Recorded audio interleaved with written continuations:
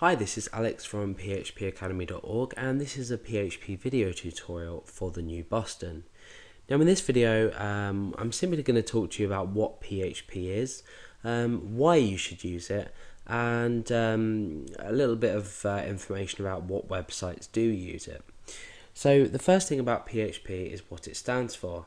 PHP stands for Hypertext Preprocessor. Uh, in fact, the first P is P, so it's PHP Hypertext preprocessor, that's what it stands for.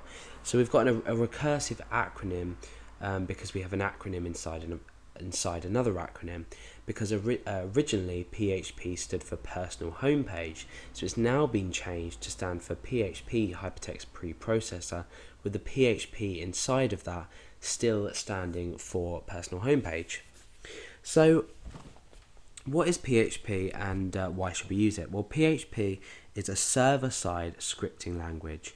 Now, when you open up a uh, PHP uh, file and you type in the code, um, it's not available to view by the uh, user of the website. They cannot right click and see your code. So it's not like HTML, with HTML being um, a markup language, it's interpreted by the browser.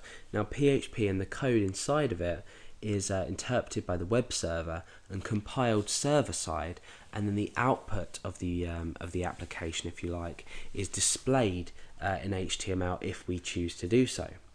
So um, it's basically uh, used to create dynamic content on websites. So we're not um, we're, we're essentially creating a program within a website. So we're being able to do a variety of different things now let's head over to the um, PHP official website, which is php.net.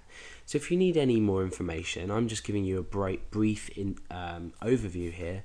Uh, go over to php.net and uh, you can read some information about PHP as well as news, etc., etc., etc. So um, we've got a little description about here uh, about what is PHP and we've got an introduction introductory tutorial. Now the great thing about PHP is while you're developing it has a really extensive documentation to it. Uh, and this is called the manual. So we've got a link here to the manual. Uh, and basically we've got um, um, an, an, online manual for lots of different languages, um, and you can also uh, download the doc uh, download the documentation as well.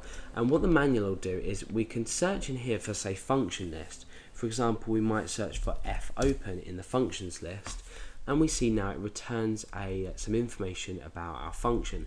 So we can now go down and look at the different parameters of the arguments it takes. And we can also look at some examples down here.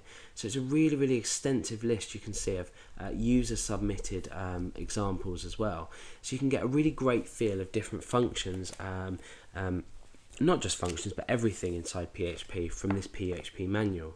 So what kind of websites use PHP and why do they use it Will Facebook, for example, use PHP? What we're doing is with, with Facebook, it's a social networking website that's storing lots of data in a database. So what we can do with PHP is we combine PHP with a database system, and we typically do this with MySQL. Uh, and in, certainly in the, in the tutorials that I create, I use MySQL, because MySQL is one of the wideliest used and powerful and fastest databases around. So um, MySQL is great to use with PHP for storing data. So Facebook is one of the um, social networking websites that takes advantage of PHP as a whole, um, as it's a really, really nice language to work with. A lot of the syntax and uh, structure is similar to C, and it's actually interpreted by C uh, server side as well. I think it's C or C, yeah, probably C. Uh, but you can obviously prove me wrong on that if you like. Um, I may be wrong. But yeah, this is a brief overview, overview of PHP. So if you're thinking about getting started in it, um, follow the tutorials that I've created and um, you can begin to start creating dynamic websites and you'll actually start to realize how easy PHP is, the fundamentals of it anyway. Uh, we can start going into sort of the object-oriented programming side of PHP, which is slightly more difficult because some people uh, struggle with object-oriented programming. So we do have the object-oriented programming um, functionality within PHP. Uh, and this was added from PHP version 5, I believe, in about 2004. So we can use object oriented programming inside PHP as well as recursive. Um, sorry, um, not recursive, um, procedural programming as well. So procedural structure. Uh, to our code. So that's a brief overview, overview of PHP. Um, it's a really, really great language to learn and it's really, really widely used on the web today, so it's definitely worth it.